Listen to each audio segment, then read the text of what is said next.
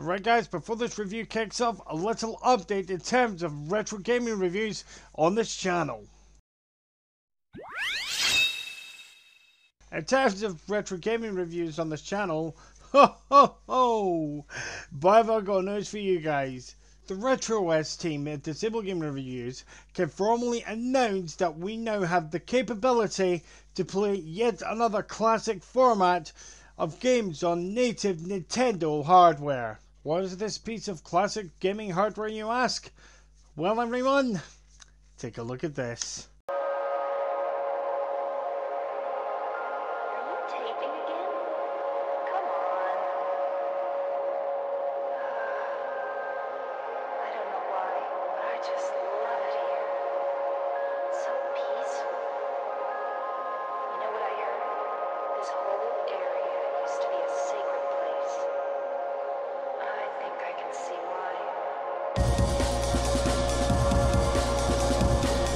Case you didn't know what this is, this little piece of gaming hardware is a Nintendo DS Lite. Not only is this little system capable of playing Nintendo DS games, it also plays Game Boy Advance games. Now, the Game Boy Advance was released in 2001, which was the world's first 32-bit handheld gaming console. This console had a wide variety of classics in its game library, such as Pokemon Ruby or Sapphire, The Legend of Zelda and the Minish Cap, and Mario Kart Super Circuit, and Metroid Fusion to name a few. With this big retro gaming announcement aside, let's get into the very first Game Boy Advance review. Hey everyone, Spartan Commander 1990 Chief Editor of Disabled Gaming Reviews here. Welcome to the most emotional episode of RetrOS I have ever done on this channel. This time a review of Game Boy Advance Classic that was released one month, you had that right guys, one month before my accident in 2004. Does this game live up to this accolade? Well, without further ado, let's find out.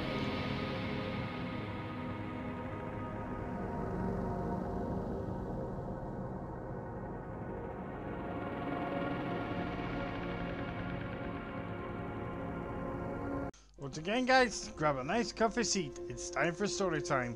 When was browsing around Glasgow, particularly looking through the charity shops because you know, I work in one, I noticed something in the display case and the British Heart Foundation located in Union Street. Of course, that was this little piece of retro hardware for the ultra low price of £35. The console itself was in near pristine condition with charger and carry case included. I have been looking for a portable Nintendo console which has the capability of playing Game Boy Advance games for over a decade. Of course, I ordered this game from CEX for the low price of £12. I will explain why later in the review. Anyway, back to the review at hand. The Sonic Advance series has been hailed as one of the best Sonic games on handheld systems. No matter how old this title is, the community still has a soft spot for this title in our hearts. The game takes place after the event of Sonic Battle, again for the Game Boy Advance. Our longtime antagonist Dr. Eggman and his new robotic assistant Gemerl attempt an experiment to perform Shadow's trademark Chaos Control ability. The experiment went sour and the world is split apart. It is up to Sonic and the gang to restore the planet piece by piece. And the accessibility scores are as follows.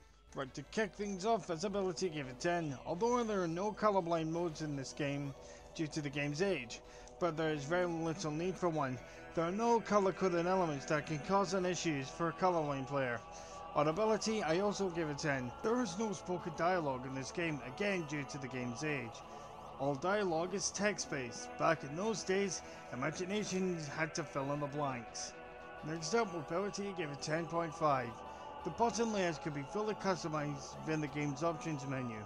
That way, you can pick whatever button layers is suitable for your impairments.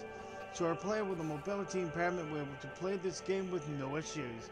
Gameplay is scored a 9.5. A large part of the Sonic community holds this game in very high regard. When I played this game earlier on this month, I can clearly see why. This is what a 2D Sonic game should play like. The game's tag system is what makes this game truly unique. Instead of picking a single character, you have to pick a team of two. Each character has their own unique tag ability. For example, Tails can boost characters high in the air and of course flying. The only criticism that I have of this game is the level layouts are a bit complex, but the aforementioned tag mechanic more than makes up for it.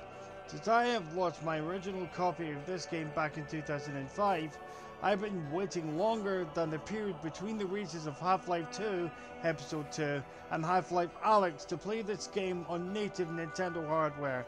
Until of course, my very lucky charity shop find. When this game arrives days before my birthday, it was so nostalgic. I was inches away from tears when I first played it in over a decade. Again, no joking. In summary, Sonic Advance 3 is a solid addition to the Sonic franchise. The aforementioned tag mechanic makes exploring levels fun, as you find the right path to clear a level as fast as possible. So if you happen to own a Game Boy Advance and looking for a platformer to play, this game is highly recommended. On the overall score, it's a perfect 100%, kicking off Game Boy Advance reviews in the best way possible. This is Sparta Commander 1980 Chief Editor of Disabled Gaming Reviews signing off, and I'll see you guys in the next review.